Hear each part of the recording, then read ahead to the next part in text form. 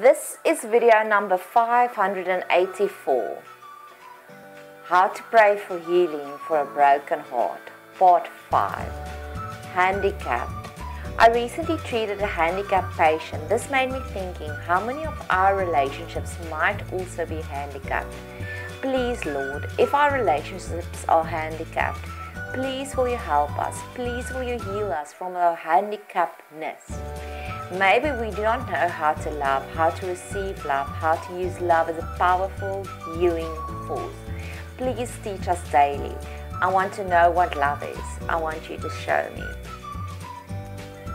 Euro support. Just like this channel of people encouraging this patient.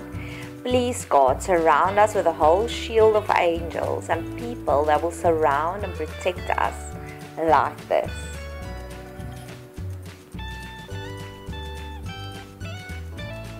Dr. Krev asked us to all stand here. Do we know why? Just that a patient needs us. She needs all of us. Okay.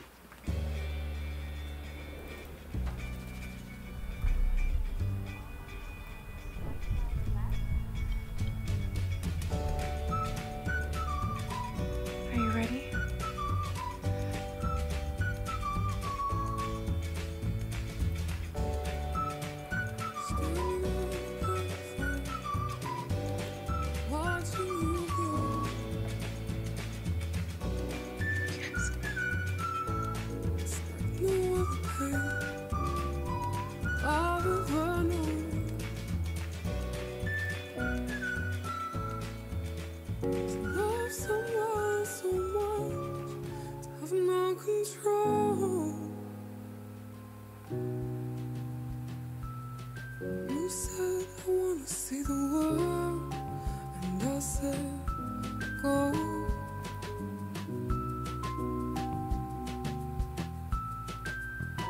I think I'm lost without you.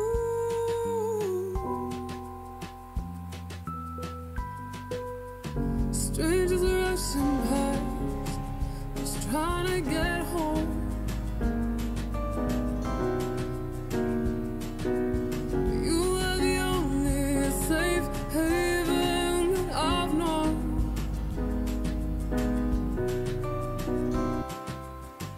Let it hurt, let it bleed, let it heal, let it go. Teach us, Lord, how to follow this. Please, Lord, change our relationships so that we are each other's happy place, just like this picture. Let it be us in the spiritual sphere, sitting high up, up on top, discussing ideas. Let us be each other's happy place. You cannot dictate how others love you. You can only decide if you're willing to participate in the way that they are able to love.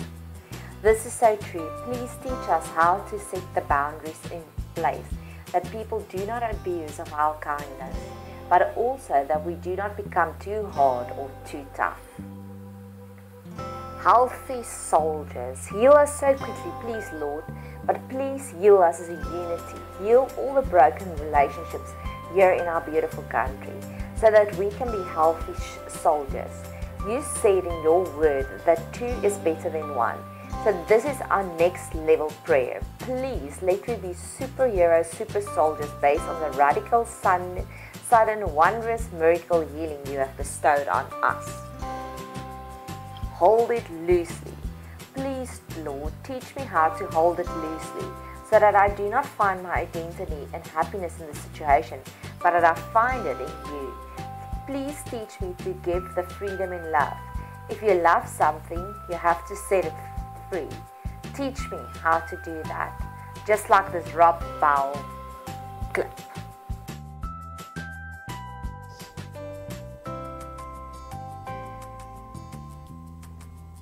You see, the Father is a father and therefore wants children rather than captives.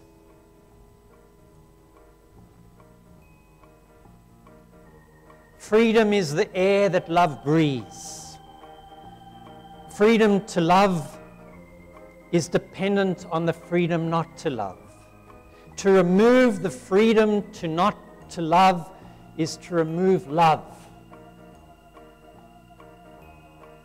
To remove the one is to lose the other. If you're not free to leave, your staying is meaningless.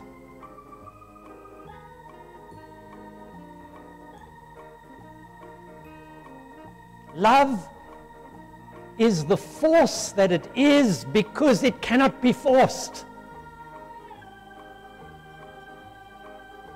Love is always free.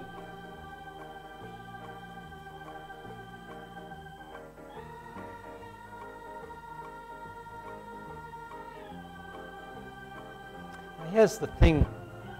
This, this Father lives in such love, such freedom, and offers us such freedom that throughout the history of the world, and certainly the church, tradition, religion, we fear this